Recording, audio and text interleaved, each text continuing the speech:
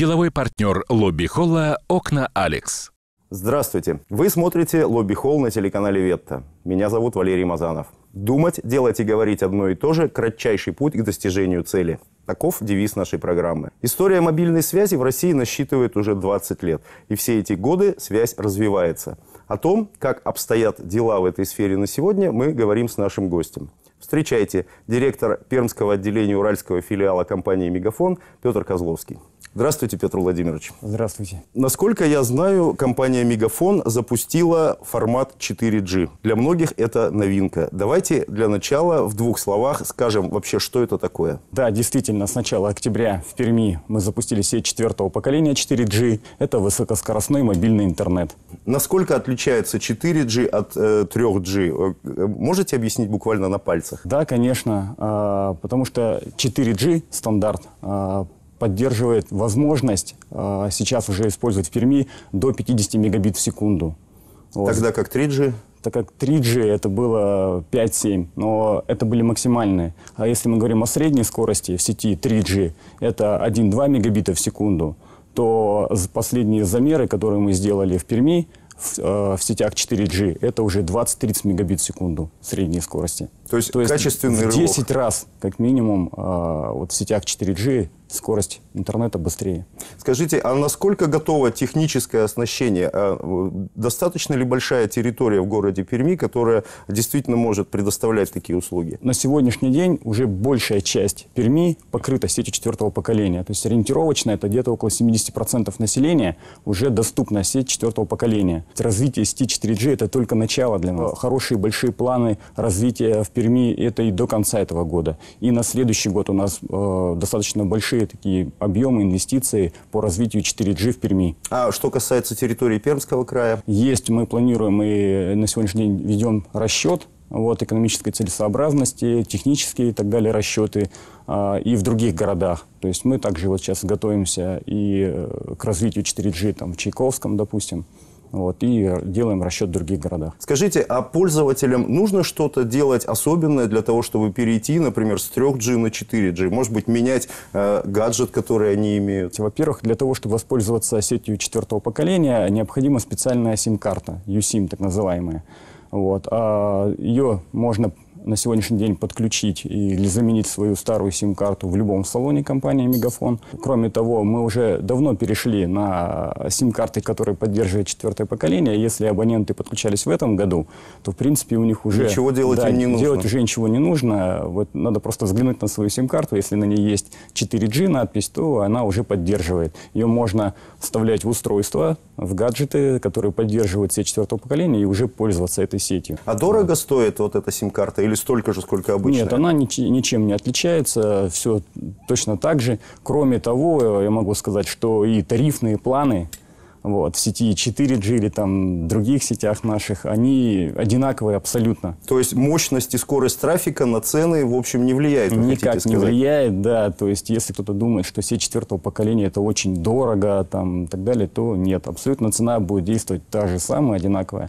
Ну, давайте для ориентировки назовем пару цифр. Например, сколько обойдется э, среднему рядовому пользователю в месяц пользования этой услугой? У нас э, достаточно широкая тарифная линейка. Вот, э, и мы предлагаем разный интернет э, в зависимости от потребностей, скажем так, абонента. Но вот э, все эти четвертого поколения все-таки это более высокоскоростная сеть, и она подразумевает использование тяжелого контента. То есть это и смотреть онлайн там, телевидение, это и скачивать тяжелые там, файлы, фильмы, музыку, музыку.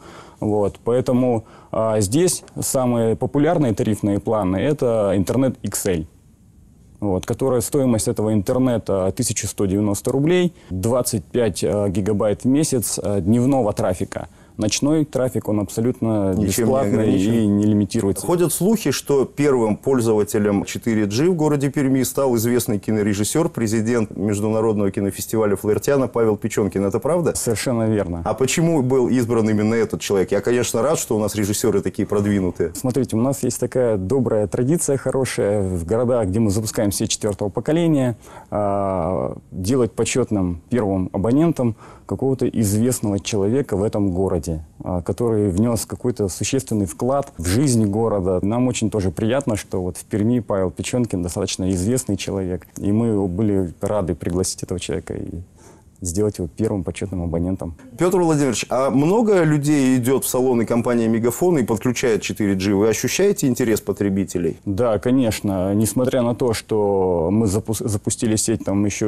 массово не заработала там реклама, еще многие люди не знают. Тем не менее, мы уже видим, даже в первые дни, когда мы запустили сеть, за первые выходные было подключено в районе там уже 300 человек. Сразу прям практически. Вот. И сейчас мы видим динамику, отслеживаем от э, подключений. И ну, динамика очень такая впечатляющая. И то есть это доказывает то, что все-таки услуга очень востребована. И люди пробуют, им это нравится. У нас даже есть случаи, когда а, человек пришел, узнал в салоне, подключился, и буквально через там, несколько часов приходит, говорит, да, действительно все работает, все хорошо. И что, и что у вас еще есть? Какой гаджет и так далее? То есть они уже готовы и к 5G, и к 6G. Да. А что вы отвечаете таким клиентам, вот как э, тот, про которого вы рассказали? У вас есть какие-то действительно наиболее продвинутые гаджеты? На сегодняшний день самыми популярными устройствами э, являются это модем и э, Wi-Fi роутер. Модемы мы уже все привыкли. Модемы уже 4G, которые поддерживают сеть, они уже есть во всех салонах компании Мегафон. Вот. И еще один очень хороший, интересный гаджет, потому что они все на сегодняшний день готовы поменять их сразу на там, телефоны и там, и планшеты, которые поддерживают 4G. Это Wi-Fi роутер. В принципе, это устройство, которое вставляется также сим-карта 4G, а, он принимает сигнал И адаптирует да, его. с 4G и адаптирует это Wi-Fi сигнал, который, в принципе, доступен там, в любом устройстве. Ну что ж, очень полезно. Да, то есть я вот сам, допустим, вот использую, потому что сейчас не готов там поменять свой телефон и планшет, и вот такой вот очень простой, легкий, маленький гаджет, вот, который вот у меня вот в кармане, и я посредством пользуюсь 4G, и у меня все и, там и телефон, и планшет по Wi-Fi. Давайте теперь перейдем от мобильного интернета к другим направлениям сотовой связи. Например, очень много ходит разговоров о возможности для абонентов сохранять свой э, собственный привычный номер при переходе к другому оператору. Расскажите, пожалуйста, готовы ли вы оказывать такую услугу? Как она заработает? Будет ли некий переходный период? Да, эта услуга будет э, доступна с 1 декабря 2013 года. Вот. Однако, так как эта услуга, она достаточно новая и э, требует ну, очень больших технических решений, а, поэтому на тестирование между всеми операторами на рынке, которые се- сегодня работают, займет, наверное, еще какое-то время. Для того, чтобы услуга действительно была качественной, быстрой, скажем так, то, ну, наверное, еще какое-то время необходимо будет для нормального тестирования данной услуги. А по вашим прогнозам, много людей захочет воспользоваться этой услугой? На сегодняшний день все значит, делают различные прогнозы, и операторы делают свои прогнозы, и там, СМИ делают свои какие-то прогнозы. Да, достаточно большое количество людей там, э, готовы будут воспользоваться этой услугой. Практика показывает, там, вот, мировой опыт, где уже внедрена эта МНП, что, в принципе, ну, она меньше, чем э, в реальности. То есть э, сегодня по опросу больше людей там высказывают То свое больше декларируют, нежели да, нежели чем действительно реально там будут как-то менять. Ну, так или иначе, для сотовых операторов, для компании это связано с некими затратами. У вас нет желания переложить хотя бы часть этих затрат на э, потребителей? Не ожидать ли нам в связи с этим какого-нибудь роста тарифов с 1 декабря? Нет, конечно же нет. Потому что на сегодняшний день а, операторы, это наоборот, мы заинтересованы, чтобы к нам приходило больше абонентов. Вот, и наши опросы здесь и исследования показывают, что мы как раз э, очень хороших результатов от МНП ожидаем здесь в Перми. Не могу не поговорить с вами как с экспертом о таком явлении, как СМС-спам. Ну, все мы, наверное, получаем предложения от таксомоторных компаний, от продавцов там чего угодно. При этом совершенно неизвестно, где они берут наши мобильные номера, почему они ими пользуются. Скажите, э, на уровне сотовых операторов есть ли возможность бороться с этим спамом? И Предпринимаете ли вы какие-то шаги в этом направлении? СМС-спам в последнее время уже ну, постоянно на слуху, и мы все являемся абоненты, даже я тот же самый абонент, То есть вы тоже тоже получаю тот же самый СМС-спам. Наша компания предпринимает ряд мероприятий. Мы ввели новую платформу, которая позволяет анализировать э, СМС-сообщения и гасить э, вовремя вот различные несанкционированные СМС, вот рассылки, спам и так далее. А как быть э, рядовому пользователю, которого просто достал этот спам, э, что ему нужно делать в рамках закона или там э, следуя вашему совету? Ну вот на сегодняшний день, то есть наша платформа, которая вот анализирует э, вот эти вот всплески там, и так далее, смс-рассылки, э, на нее также могут и влиять и простые абоненты. Достаточно сбросить сообщение значит, на номер 1911, либо позвонить в наш колл-центр вот, и сообщить о том смс-спаме, который который к вам приходит на телефон.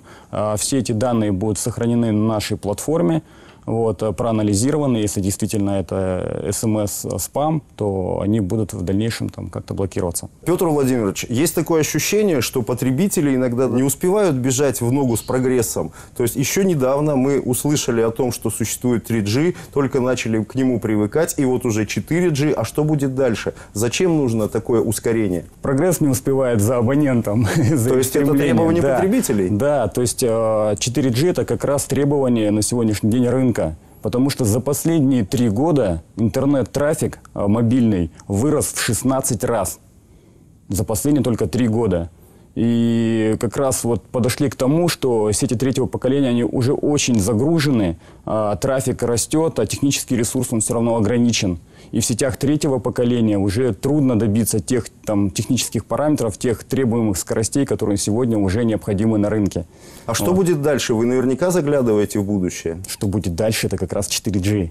То есть наступает именно эта эра, и сейчас э, активно будет развиваться везде это 4G. В течение нескольких лет. Да, однозначно. А по вашим наблюдениям, насколько российские операторы, российский рынок мобильной связи отстает от западного? Либо мы находимся примерно на одном уровне? Мы стремимся, и за последние вот там, если пять лет э, проанализировать, там, запуск там, тех же там, сетей третьего поколения, там, когда запускался в Европе, там, когда в России, то Россия очень существенно сокращает этот разрыв. И практически, я думаю, еще в ближайшие несколько лет мы практически выровняемся, ничем не будем отличаться и уж точно не будем отставающих там, от той же Европы и так далее. Пермское отделение компании «Мегафон» является составной частью огромного федерального холдинга. Вы наверняка знакомитесь с опытом коллег в других регионах. По вашим вашим наблюдениям, пермские потребители, пермский рынок сотовой связи каким-то образом отличается от других или нет? Кардинально нет.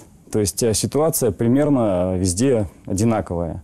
Вот. И про те же параметры там, э, скачиваемого интернет-трафика, то есть он практически везде одинаковый. То есть в сетях третьего поколения примерно приходится полтора гигабайта трафика скачиваемого, средний. Общаясь с коллегами там, вот, уже в других городах, где запущена сеть четвертого поколения, то там статистика показывает, что уже на одного, один абонент выкачивает примерно уже там, 20 гигабайт.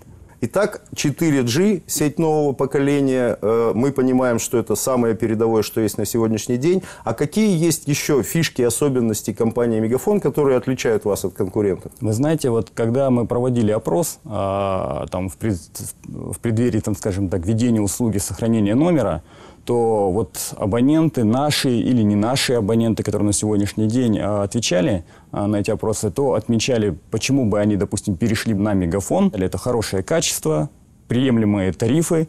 Вот. Ну и, конечно же, вот главным образом отвечали о том, что в мегафоне самый быстрый интернет.